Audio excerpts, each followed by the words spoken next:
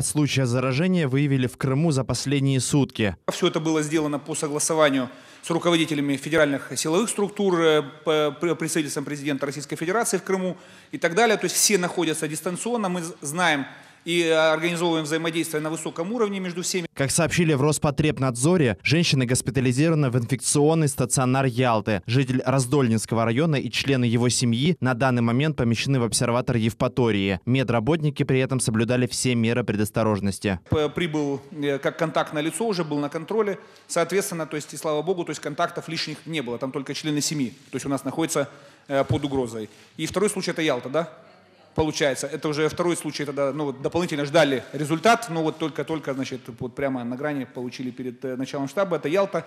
Женщина была с, э, уже с признаками, да, получается, то есть с ОРВИ. Количество участников регионального оперштаба снизилось почти вдвое. Несмотря на прохождение членами штаба тестов на COVID-19, все участники сидят на удаленном друг от друга расстоянии. Житель Республики Крым, который находился в Москве в больнице на, а, на лечении в НИИ травматологии и ортопедии, он находился там на лечении с 25 марта по 6 апреля.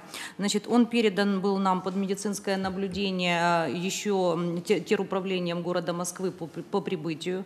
То есть в отношении него были приняты все меры по, по наблюдению и изоляции, так как это должно по протоколу. Завтра крымские власти представят новый пакет социальной поддержки граждан. По предварительным подсчетам, в рамках мер помощь получат до 200 тысяч человек. Много обращений поступает, что у, людей дети, которые родились в разные периоды, не попали под те или иные указы или программы, соответственно, то есть лишены возможности получить ну, там, многодетных семей, там касается и так далее. Разбираем ситуацию.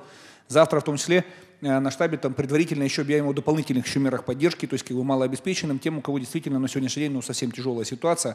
То есть вот э, республика, то есть мы идем вот на такие решительные достаточно шаги, то есть я говорю, вот миллиард рублей, это мы говорим только сейчас в рамках там урегулирования ситуации за апрель месяц. Сегодня под медицинским наблюдением в Крыму более 2000 человек. У 34 COVID-19 подтвержден официально. Из них 14 выздоровели, остальные 20 продолжают лечение. Руслан Минаев, телеканал Миллет.